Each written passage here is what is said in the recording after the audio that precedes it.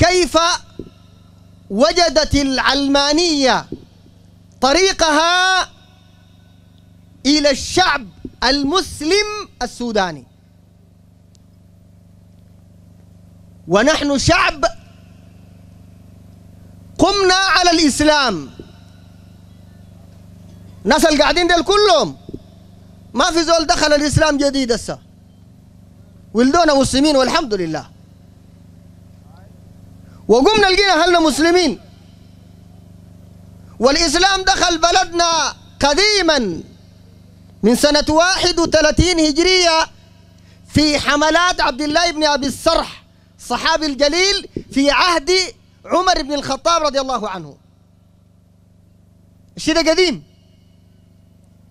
فيبقى السؤال أيها الكرام كيف وجدت العلمانية طريقها إلينا؟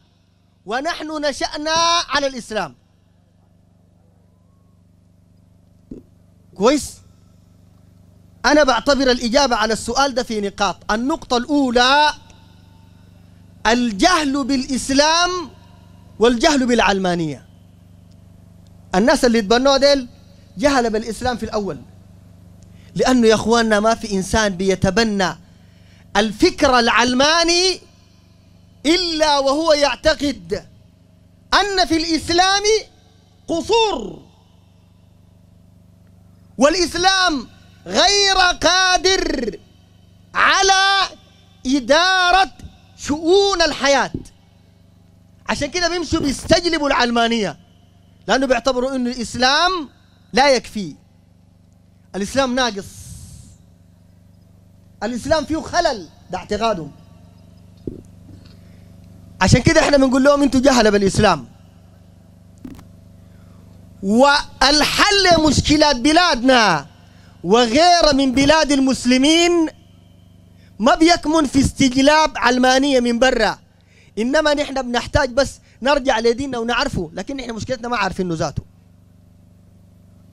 لو سألت سؤال لأي زول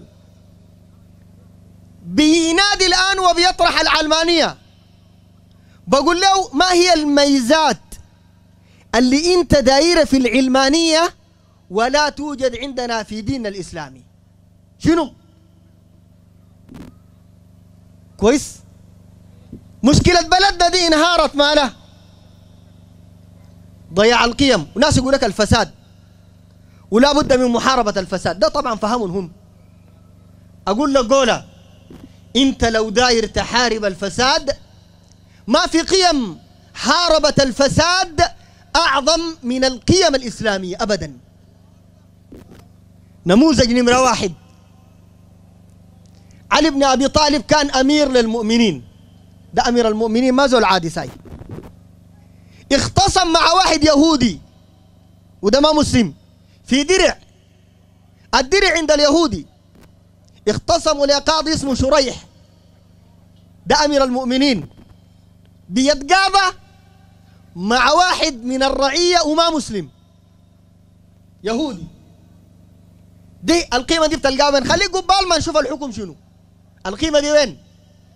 الآن حكام العالم في حاكم ما عنده حصانة بيقيف مع واحد من الرعية بيتحاكم؟ بتقدر؟ دولتك العلمانية فيها قيمة زي دي؟ أمير المؤمنين. واقف قدام القاضي. قال له القاضي أين بينتك يا أمير المؤمنين؟ البينة وين؟ لأنه الدرع قاعد مع اليهودي. والأصل القانوني والشرعي بقاء ما كان على ما كان. ما دام أنت جاي شايل الدرع في يدك وجا زول تاني قال الدرع حقي ذاك اللي بيجيب البينة. قال أين البينة؟ قال عندي شهود. قال من شهودك؟ قال غلامي وابني. قال أما شهادة الغلام فنقبلها وأما شهادة ابنك فلا نقبلها. ائت بشاهد آخر. قال ليس عندي. قال يا يهودي خذ الدرع فإن أمير المؤمنين قد عجز عن إقامة الحجة. فقال اليهودي أشهد أن لا إله إلا الله وأن محمد رسول الله. دي قيم الإسلام. ما بتلقى إلا هنا. في الإسلام بس. مشكلتنا نحن في البلد دي قضية المحسوبية. هسه البلد دي ما زمان خربانة بيها. وسه خربانة بيها. هسه خليك من زمان. الليلة دي. المحسوبية في المو... في التوظيف. والمحسوبية في أخذ الحقوق. وأي تعامل في الغالب ما بتقدر تعمله يوم الليلة دي إلا تدفع رشوة. كويس؟ عشان كده لما في الإسلام سرقت امرأة من بني مخزوم وده الناس من قريش وأخوال النبي صلى الله عليه وسلم وناس كبار. جو ناس بيشفعوا للمرأة المخزومية التي سرقت. وقالوا كلموا أسامة حب رسول الله. النبي صلى الله عليه وسلم بيحبه. كلموه قالوا يشفع لها فجاء أسامة يستشفع لها فغضب النبي صلى الله عليه وسلم. قال والله لو سرقت فاطمة بنت محمد لقطع محمد يدها. ده وين في العلمانية تحداك. أي دولة علمانية في العالم تقدر تقيم الحدود والقصاص على ناس جوا. ها؟ وناس كبار فيها. ده ما في إلا في الإسلام. عشان كده أنا بقول لك يا جاهل يا مسكين. ولشبابنا الغشوم الشيوعيين ويقول لك دي دولة العدالة؟ ودي دولة الحقوق. وين العدالة؟ والحقوق وين وين دولة العدالة؟ دي العدالة هنا في الإسلام. الموظف في الإسلام ما بيجوز له يشيل حاجة فوق المرتب حقه هدايا من الناس. حرام ده. عشان كده الصحابي النبي صلى الله عليه وسلم رسلوا يجمع الزكاة من الناس فجاء راجع قال هذه زكاتكم. دي الزكاة حقتكم. قال وهذا أهدي لي. جاب له بهيمة على جنبه كده. قال وهذا أهدي لي. وما سرقوا ما حرامي. لكن أهدوا فالنبي صلى الله عليه وسلم علمنا قيمة. قال هلا جلس في بيت أبيه وأمه حتى تأتيه هديته؟ لأنه الهدية دي جاته بسبب شنو؟ بسبب إنه موظف وعامل الزكاة. ما جاته بسبب إنه مسلم عادي لا. ده الإسلام يا أخواننا دين العدالة. أه؟ عشان كده الغربيون لهم حق يكتبوا the greatest are hundred or over hundred and the most greatest one of them is محمد ونحن نقول صلى الله عليه وسلم. أعظم رجل عندهم عندهم. أقام العدالة. هو نبينا محمد صلى الله عليه وسلم. نحن الليلة نجي يا أخواننا شعب يصفق بملء اليد. ويصيح بملء الفم. يقول نحن دايرين علمانية ودايرين أي حاجة. تنقذنا نحن من الظلم. ليه يا أخ؟ ما ترجع لدينك. حتى حقوق الأقليات اللي بيتكلموا عنهم.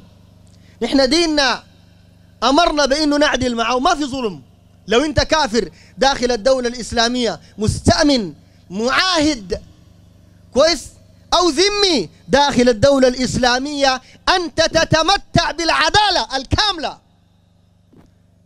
تبارك وتعالى فإن جاءوك فاحكم بينهم أو أعرض عنهم وإن تعرض عنهم فلن يضروك شيئا وإن حكمت فاحكم بينهم بالقسط. كفار لابسين صليب وملاحدة مش قاعدين معانا وما محاربين؟ أيوة. ربنا قال نعدل نعدل معاهم مش كده بس. وكمان نبرهم في المعاملة. ربنا قال لا ينهاكم لا ينهاكم الله عن الذين لم يقاتلوكم في الدين ولم يخرجوكم من دياركم أن تبروهم وتقسطوا إليهم.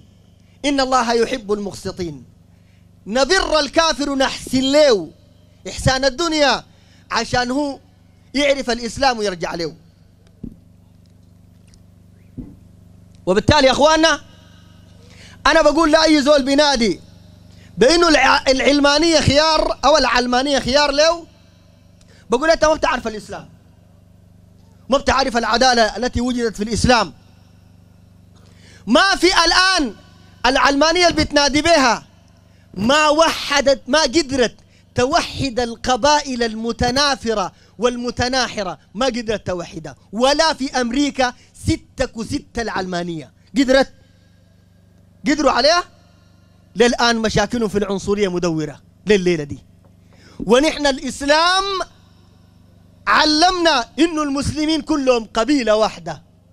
ما في شيء يفرق بيناتنا. ما في شيء يفرق بيناتنا إطلاقا.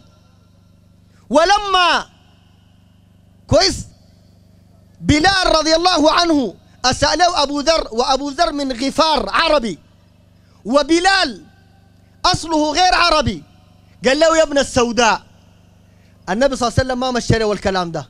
قال إن إنك امرؤ فيك جاهلية. لحد ما جاء أبو ذر واعتذر له وخدت وجهه على الأرض وقال له أطع على وجهي برجلك. كويس؟ ده الإسلام يا أخواننا. الليلة الجنبنا دولة جنبنا بيجاي جارتنا.